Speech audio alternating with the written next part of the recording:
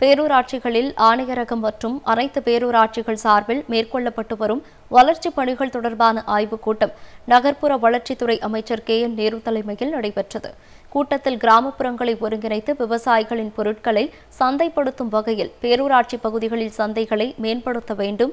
பேரூராட்சி பகுதிகளில் மழைநீரை முழுமையாக சேகரிக்கும் வண்ணம் கட்டமைப்புகளை ஏற்படுத்த வேண்டும் என்று அமைச்சர் அறிவுறுத்தினார்.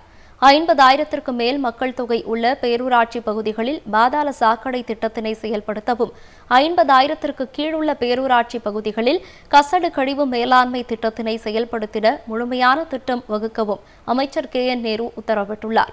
கூட்டத்திற்கு பின்னர் செய்தியாளர்களிடம் பேசிய அமைச்சர் கே என் நேரு ஆயிரத்து முன்னூற்று இருபது கோடி ரூபாய் ஒன்றிய அரசிடமிருந்து வரவேண்டியுள்ளதாகவும் அதனை பெற்ற பின் மாநகர திட்டங்கள் நகராட்சி மற்றும் பேரூராட்சிகளில் செயல்படுத்தப்பட வேண்டிய பணிகள் மேற்கொள்ளப்படும் என்றும் தெரிவித்தார்.